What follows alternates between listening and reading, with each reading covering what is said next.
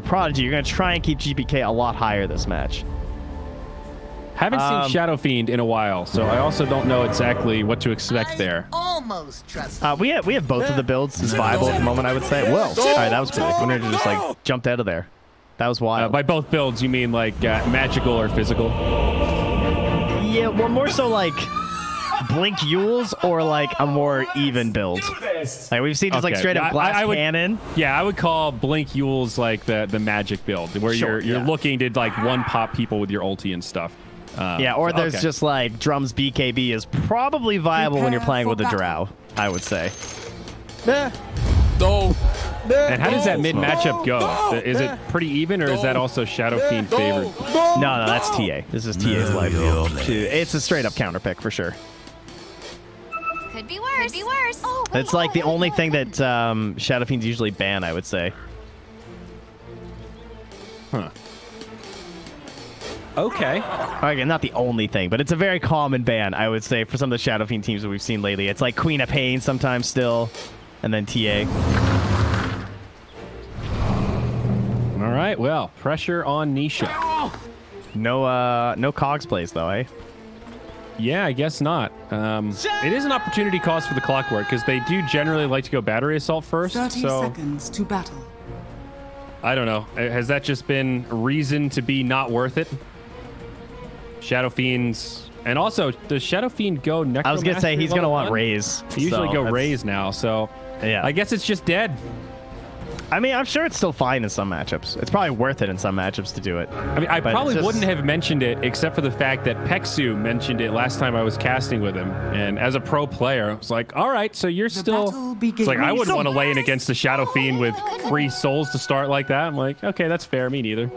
Yeah, it's it's just still a matchup dependent thing. I think it costs a lot to do it now though, because you have to like stay in the fountain unless your clockwork wants to wind up with no mana in the lane. And then That's there's a lot of pressure to get out early and scout lanes now because teams are just like way better at these rotation plays. Yes, that is another big opportunity cost. I think that's a really good point. Well, odds has shifted. 1.8 for Virtus Pro Prodigy and 1.85 for Team Secret. Sorry, Betway. Wait, what? Are you saying it's worth more to bet on Secret? That can't be right. Um, Yes, it is by 0.05. I refuse to believe that is true without looking at it. Okay, well, I, th- those are the numbers that popped up. First blood on the DM. I, I didn't be make the numbers. I'm just reporting the numbers. Well, because they got rocked by two deathless heroes in game one. I don't know. The algorithms don't know what to do. They don't handle extremes very well, Trent.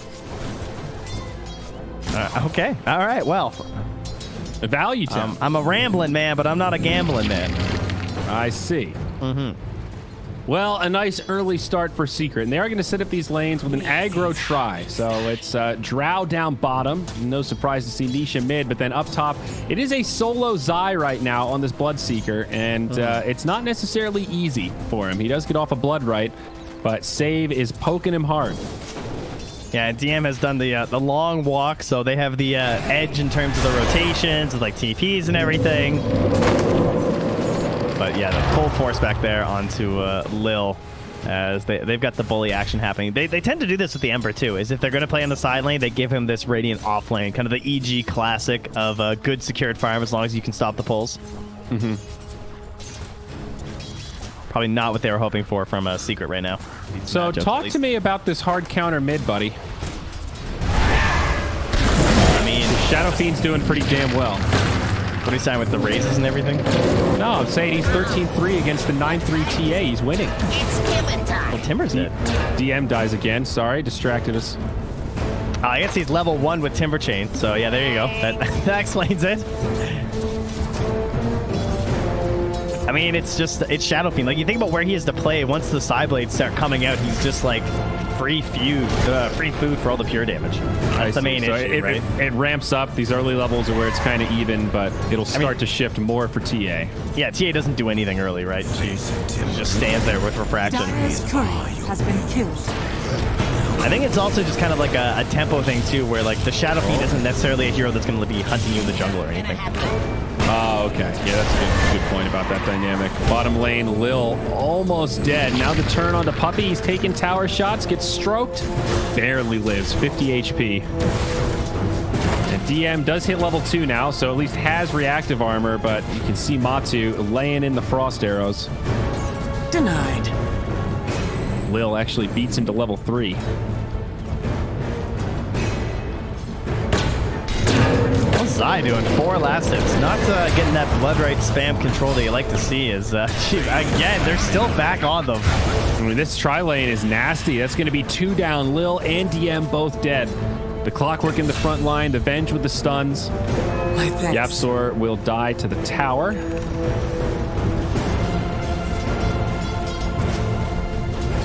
But at the the same same token though, doesn't Shadow Fiend kind of want a jungle? He sort of relies on farming neutrals with raises. So Yeah, yeah, sure. you're giving space to TA, but Shadow Fiend's equally happy that TA is doing the same thing. You know, she's not hunting the same Well, way. Oh, that was scary. He was trying to hide there to uh, to make sure that uh, SF didn't get that room, and then it spawned top anyway. Yeah, and I just think the. TA is like it's more important for that hero to be free, you know, and like make sure no one's like invading her stacks and like getting her ancients and everything. I'm really excited to see what build Nisha ends up going for. I love watching the Blink Euls, but I kind of feel like that's not going to be at this game. Doesn't seem necessary, really. Like with the hook I- shot and with the yeah. drow. I would agree from a purely spectator perspective. Um, big fan. oh, GPK takes a double raise mid. Third one hit by the refraction. That's the other thing too is that SF has to go for these like burst kills, so it makes sense why this is kind of a good matchup for the TA. Although Nisha stays aggro on this. Yeah, again, again, a little bit close there. I see. Uh, still at the last refraction. Zai still with 8 CS though. Uh, he is playing support Bloodseeker right now. Radiant. Hasn't scanning. died yet, so I guess that's a, a victory. He is. I mean, the Timber only has five, so I mean, although DM has at least been so present that he still has more gold than Zai. Uh, and probably more XP. I don't know. It's about even. It's actually like half a level up for Zai. And it's not a big difference between the farmers either. I mean, Matu is number one, but it's only by 150, 200 gold. Look at this though. GPK hits six, and they just instantly bring Yapstorm in. It spots him with the trap and the tree line. Good call. But uh, that uh, allowed uh, Nisha to just get like a little bit more gold and XP here before the traps become a real threat. So, Trent, I think I can explain the 1.8s for you. Um, that's the the series odds, the like live odds that roll, not game two. I mean, still though. so I'm just saying it's it's Yeah, like, yeah, no, know, I, I hear you on that. the roller coaster of the best of three, not individual map. Dire's middle tower is under attack. It's still wild though. That's those I'm the still- best I odds you're gonna see on on that. Secret in a hot minute.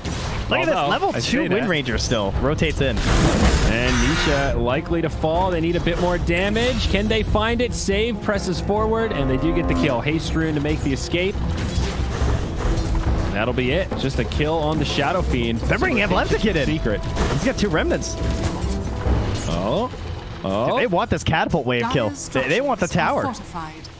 This is a smart Dire's play. Uh, they don't have enough much, though. resources to tank it. Yeah. Well, that's the great thing about Ember. You can make that play, and then you just jump Not to your remnant time. back up top, and very little downtime. Not a big opportunity Yeah. cost there. I like that a lot. Try and create something with your catapult, uh, as well as just like straight up pressure Nisha out of there. He actually came down bottom. What is he up to now?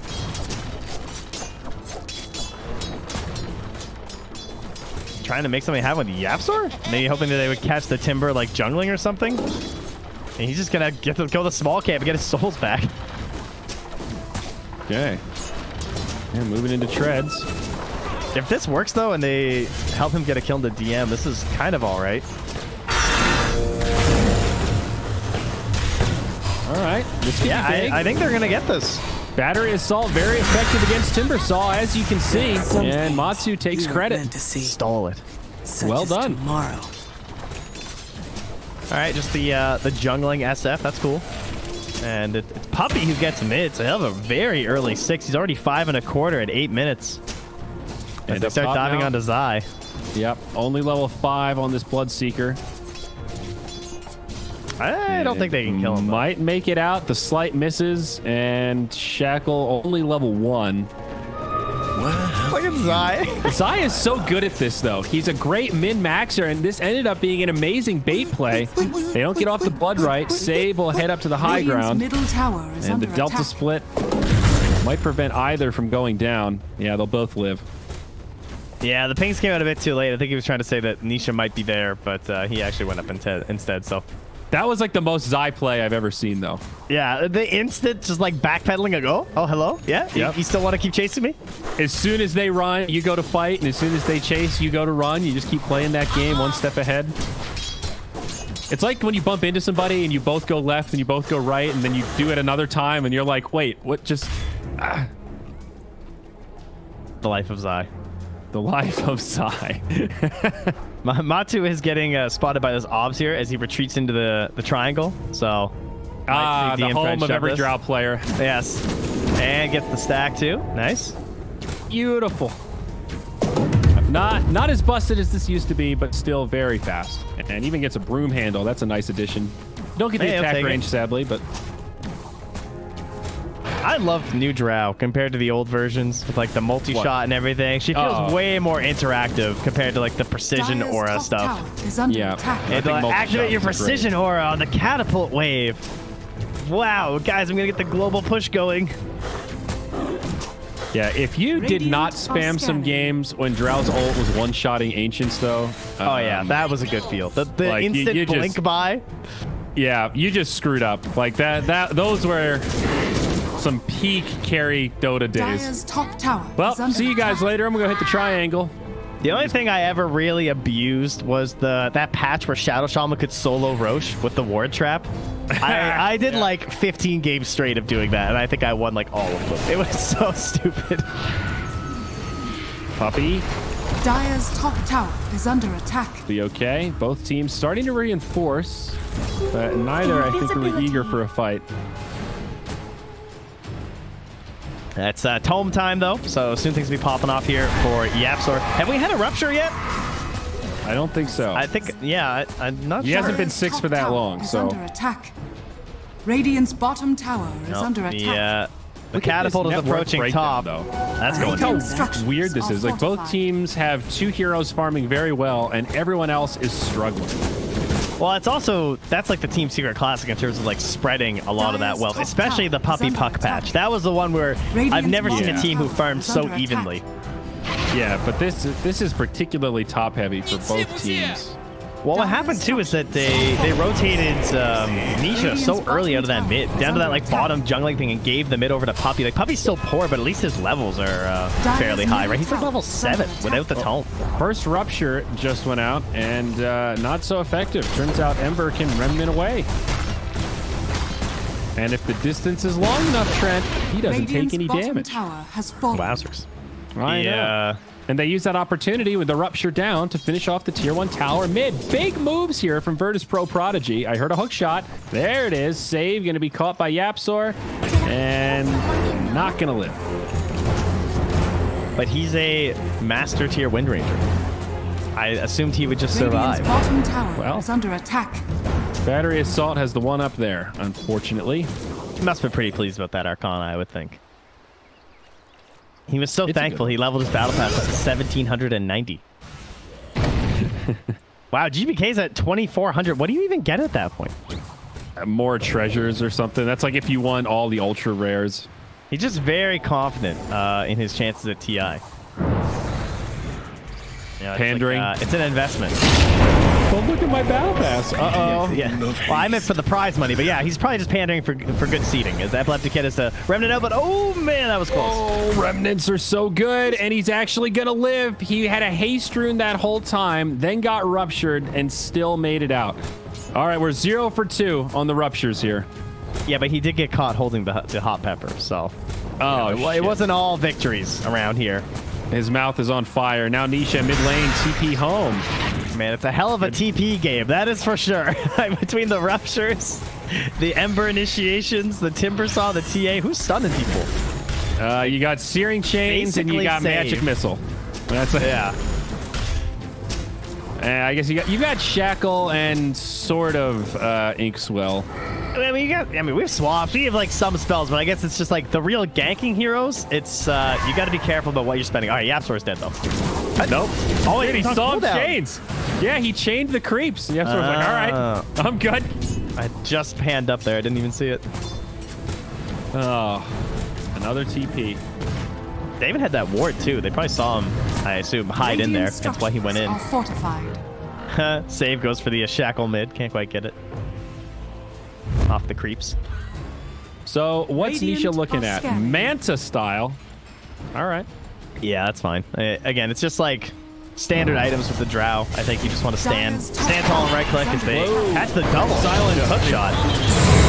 Bump into two. They get Epileptic Kid. They get Lil. Easy setup and a double for Matu. Big stuff. Yeah, he's really snagging these kills. Nisha still no kills to his name. Puppey's got a kill. Nisha's 0, 1, and 1. Puppey's 1, 0, and 5. Pick it up, Nisha. Obviously, he's Even Puppey's got a kill. Even Puppey. This man died 15 times last game. He'd still have one kill. One, zero, and five. So still a small lead for Virtus Pro Prodigy. Now down to about 200 net worth and Secret with the XP lead to about 2,000. Yeah, GPK's made like zero effort to be involved. He is just straight up rushing the Deso Blink as fast as he can. And to his credit, they're going to be done at 15 minutes and eh, probably just heading into 16. He'll be uh, ready to uh, either head to the Rosh Pit, a little bit risky versus a, a clock, of course, Radiant's depending on the, the current status of the enemy team. But certainly willing to try and fight it up a little bit. Rosh definitely going to be on the menu for Virtus Pro Prodigy, and that'll be their moment to really start getting a lot of momentum. They've already got two tier one towers, so it's a good start. I mean, the problem is it's also there for uh, Secret, right? I mean, they have uh, Shadow Fiend on their team. They have a Drow. They have lots Yeah. of right-click damage to get in there. Never refuse creativity. That's true. It's also hard for GPK to necessarily go like super hard with uh, just Deso and Blink. He doesn't have uh, the best coverage heroes this game. You know, you think of like an Abba or like an Oracle or Avenge or something to like bail you out if it gets a little bit hairy. He, he can't just like jump in. in. Yeah. In, a, in total abandon, like like Miracle gets set up so well in his games, right? He's got like four heroes to allow him to go nuts on the PA or the TA. Yeah. That's a, a good point. Bottom What lane. is his save? Like a shackle? Uh-oh, DM. And this is where, like, yeah, you've got reactive armor against Drow. She also hits pretty hard. She silences you for four seconds, and uh, you don't have a dispel yet. So Yeah, yeah. And uh, he's actually going to go Blade Mail first item. Not going to be able to go for the Dispel, but kind of a cool move from Virtus Pro Prodigy, thinking about going into the Rosh Pit. Does get scattered out by the Rocket Flare, but the TA is invisible, so they might wait for the flare to expire and then go for this. Yeah, there it is. Sneaky from GPK. Starts it with the double meld too. Oh, that's that's, uh, uh, quite Yeah, nice. the- the- into the triple minus 24 armor. Now, can he get away with this, though? This Whoa. feels risky. Up top, Epileptic. epileptic kid. He had the slight dodge on the silence from the tree line there from Matu. That was scary. Nicely done, but that doesn't uh, give them Rosh. Now Rosh is also running out. They might notice him. I don't think they had vision on him running around in there. Indeed, they didn't. So they might not know this is started. I didn't see if it was flared. It might have been. I'm not sure. I mean, he just had an invis rune run from full to zero, so I'm going to guess he didn't flare. Secret all grouped up, posturing like they want to kill mid. Save, not that high value target. They're looking for double force staffs, actually, both Wind Ranger and Grimstroke, prioritizing the force. That's not an item That is the you save normally they want against GPK. Bloodseeker, but yeah, dumb good against everyone Dire's else. bottom tower is under attack. Saves for uh, the silence as well. Radiant are I think scanning. DM's item choice is really hard this game. I don't know, like the blade mail is like kind of okay, but he can't go Euls because like there's Blood Rite and Cogs and even Shadow Fiends. Like it just doesn't really save you from anything, even if you dispel the silence. Then the other item's Lotus, but it's so expensive that it's going to be a while before you get there because your TA is a vacuum absorbing all the farm on the map. So he has to go for this like Radiant's middle of the road item in the blade mail attack. because it's like half the cost of a Lotus. What about Greaves? Is that is that too passive to go Greaves first? Because he already has the arcane boots. Like,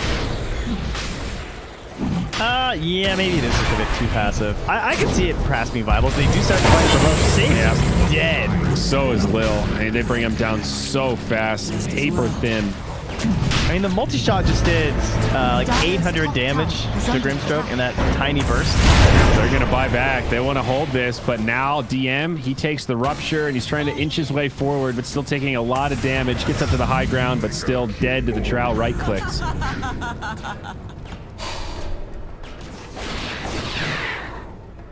Feels like they still just need GPK, and he uh, he's not confident yet without the BKB. Well, now Rosh can be stolen by Secret. It looks like BPP trying to move in. Rosh now at 900 HP. Secret come out of the pit. They want to take the fight. They'll bring oh, man. down Epileptic Kid. Shackle doesn't latch. That blood rite was so good. The way Zion placed it right there, it just forced them into a terrible situation where they felt like they still wanted to fight and contest and pull them out of the Rosh pit, and so they they all like went down into the river. Guess I But then faster. Emperor just died. middle tower is under Uh, attack. he had remnants and stuff, but he just got battery salted and structures silenced and couldn't get out. Things starting to look grim for Virtus Pro Prodigy. Only two kills in 19 minutes. Radiant's middle tower. Tier 1 down. Nisha working on BKB, and Drow going to go for Hurricane Pike. Fallen. I would say in this like draft versus draft, the first Rosh Radiant lineup, structures it, are that's got to give you like an extra 30 or 25% edge in just winning this game straight up. Like it's so Yeah. crucial for both of these strategies to take that. middle tower Yeah, definitely. attack. Bottom, yep, so we're going to jump uh, into DM. top tower is He actually gets attack. cogged out of the blood rite, but now hook shot to follow up another rupture. Dire DM going to. TP. Ah, Oh, he's not. Eul's blood rite off the mark again. I mean, they can't finish him without uh, one of the right clickers, so at least they have that.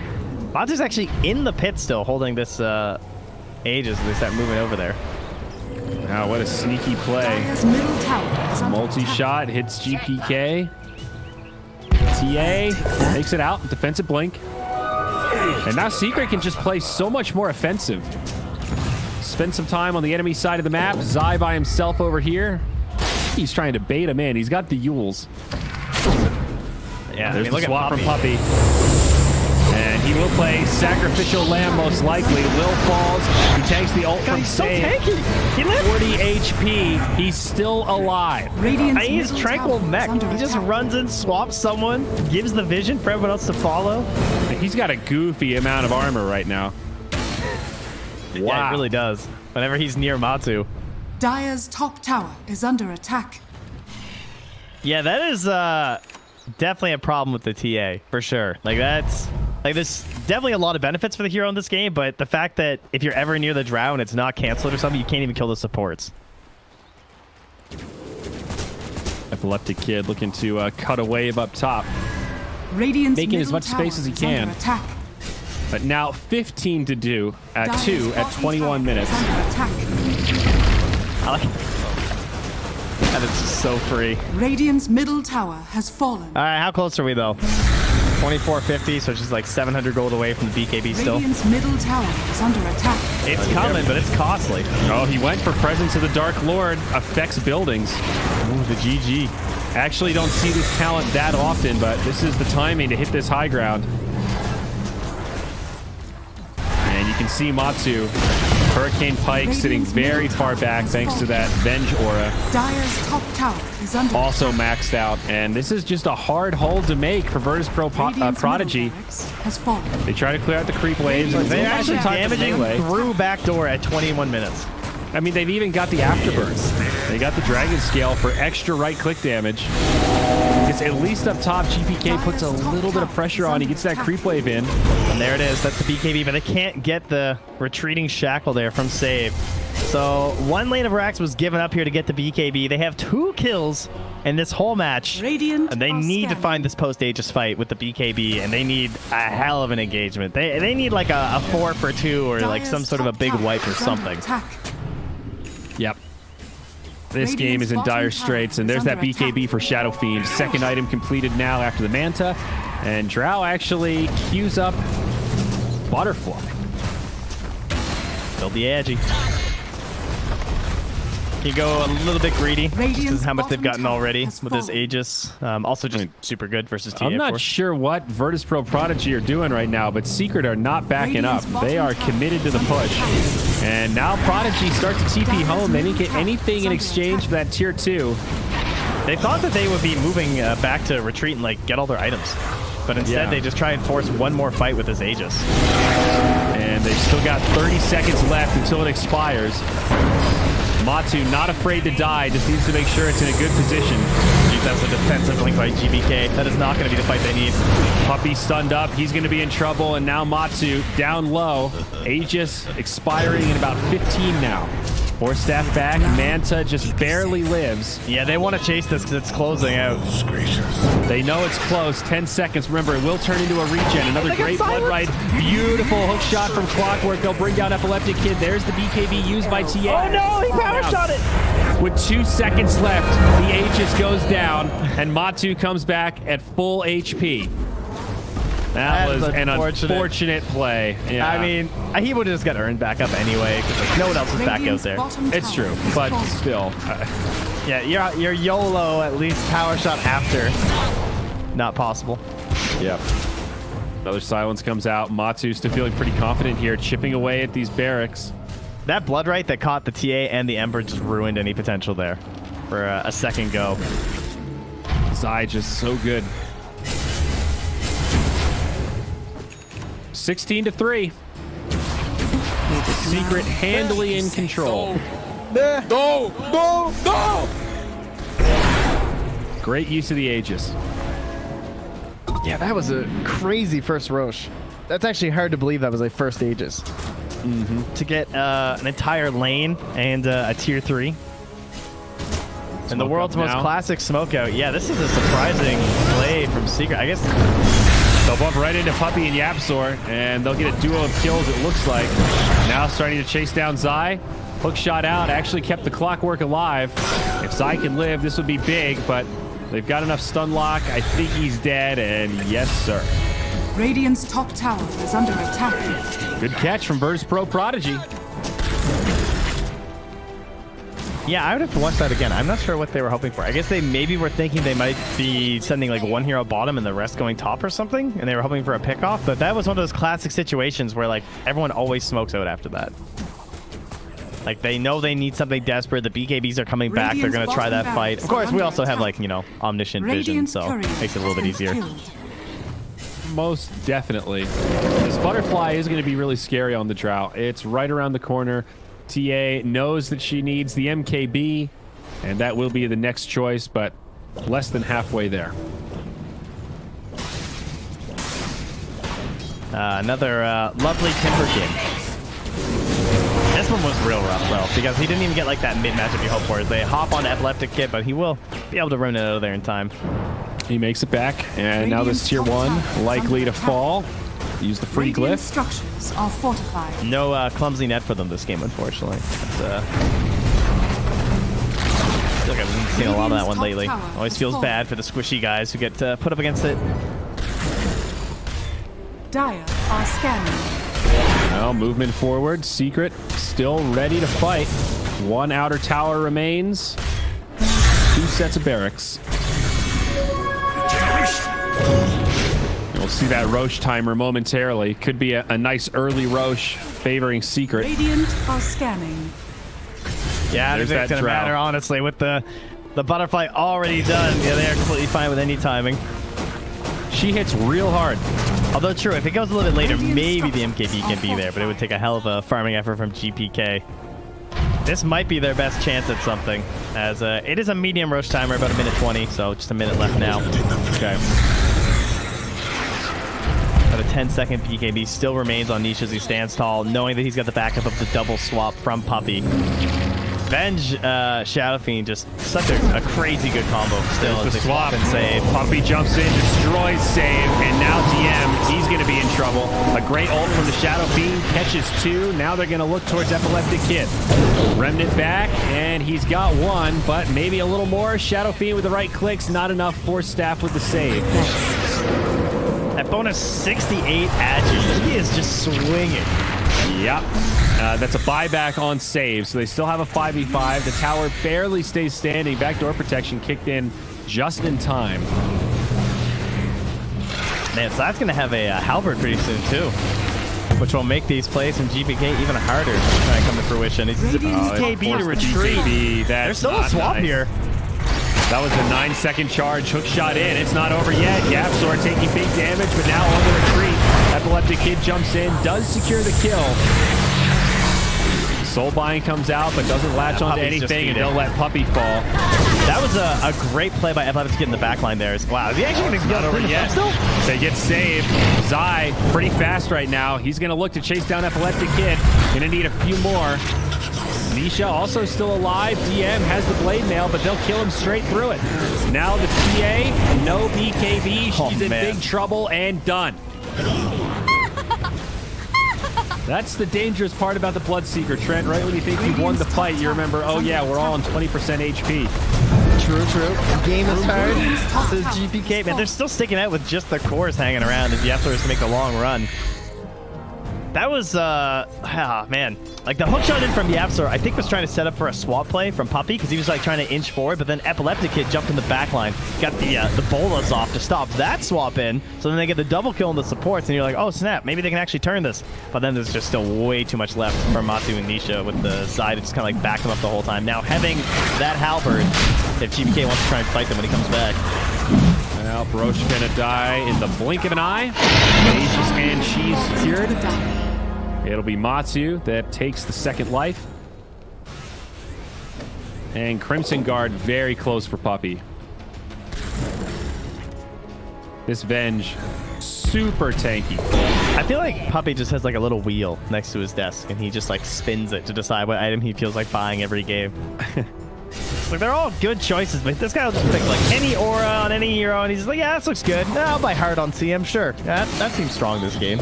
Yeah.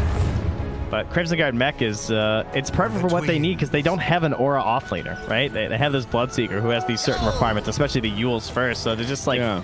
with all the farm that he got this game, Puppey just gets uh, I mean, super if you showed me this in a vacuum, my first thought would be Tranquil Boots mech. How the fuck do you have enough mana to sustain that? But it hasn't really been an issue. He saves his mana to drop the, the big rotation. They've got the Arcane Boots on the Clockwork, which has also been key. It's true. She is not that bright. Like 1.5 in gain. Yeah. And you don't see the Arcane Boots on Clockwork all that much, so it is part of the strategy, right? Yeah, I would think so. Radiant's bottom Really, just for everyone too. Yeah, you, you need a set. Radiant's bottom barracks has fallen. And uh, Mega's looking pretty imminent here. There's still a set of barracks up top. Really just a melee barracks. The ranged is at 18 HP. Hey, something as simple as those arcane boots and that urn, though, it, it shows why they were able to make that play on the first Aegis, where they took the mid and then instantly rotated bottom. All the sustain they have. All right, Grimstroke ult comes out. The Soul Bind, some follow-up. Matu dying quickly, as is Puppey. That's the Aegis. Megas. They also get Megas. Yeah, pretty good. And now Matu coming back up. Stuck in place on top of three. Manta style, trying to make it out. Matu tanking three heroes in the back line. GPK with the BKB, the disarm, the drow, running out of options, but this Shadow Fiend now running amok. Virtus They Pro Prodigy kill. doing everything they can, but the drow still standing. Epileptic Kid getting brought down by Zai. And DM, he's on the greatest chase of his life, but he gets silenced by Matu. The turnaround is here. He's low on mana. He's got the disarm. Matu eats the cheese, and the Timbersaw falls. Zai on the other just side give that to him. also goes down. Thanks, Nisha. How helpful. GG. That's it. Going to game two, baby. Uh, That was game two. 22, or sorry, game three. Jeez, 22 to 9. Secret, square it up. And we're going to the decider. Bit of back